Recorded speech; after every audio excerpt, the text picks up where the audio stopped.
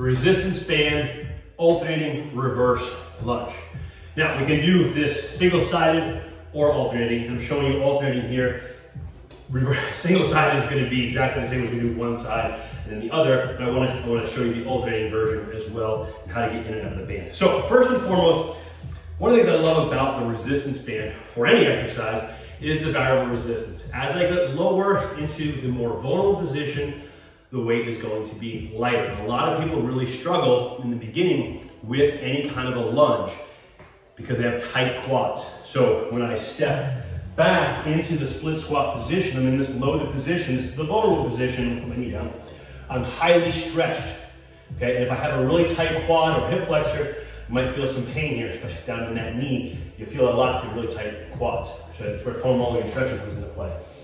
And then we add load, starts to get more challenging, right? So we're at a point where we can do body weight, no problem, but then we start adding load. The nice thing is we're gonna have the least amount of load at the bottom and then the most at the top as that band stretches. That variable resistance is really joint friendly, very, very knee friendly. This is a great way to develop your lunging patterns, uh, your, your split squat and your reverse lunge.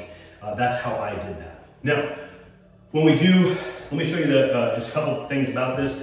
First, the setup. So just stepping one foot on, curl the weight up. I like to put the hands through and then like this, okay? So in this position here, band's coming up on the shoulder, it's comfortable here, arms up. Now when you start to get a heavier band, you may find it's forcing you down. That's kind of part of the exercise here. Like a goblet squat, the band is going to force you have to be upright. Now what you might find I'll do is I'll put the thumbs here and open the chest to set back with a heavier band. That works really well also, okay? So we're in this position here, and then we're just gonna step back into our reverse lunge. And if I'm doing alternating, I'm just gonna step in, quick transition, pull the other leg out, and back, okay? Just nice, smooth transition, in and out.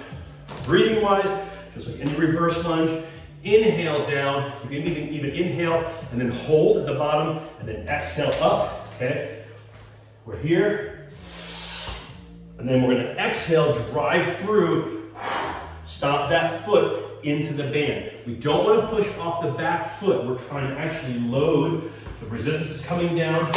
We wanna load this glute. We wanna push through the floor. So push your foot right through that band, step up and give that butt a squeeze. Now you've got the band, maximum resistance at the top, squeeze that butt hard. Take advantage of that high resistance at the top, and then the nice low resistance at the bottom. That's the band reverse lunge or alternating reverse lunge.